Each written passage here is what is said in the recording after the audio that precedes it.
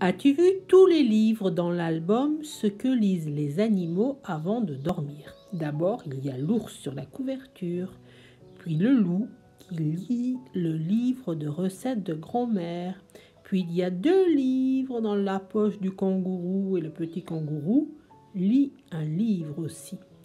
Il y a plein de livres au marché aux puces et une puce est aussi en train de lire un livre.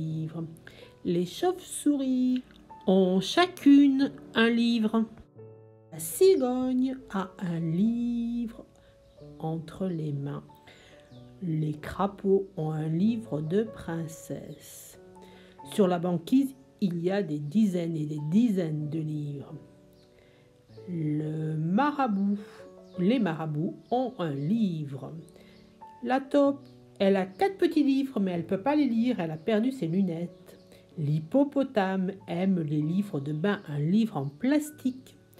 La cigogne a deux livres de naissance. Le peintre a un livre, un livre d'art. Le ver luisant lit son petit livre. Dans le musée avec les baleines, il y a aussi un livre par terre. Les poux lisent le livre du singe et dans la bibliothèque, il y a des centaines de livres. Et un petit rat lit un livre. C'est un petit rat de bibliothèque, ça veut dire qu'il aime beaucoup lire.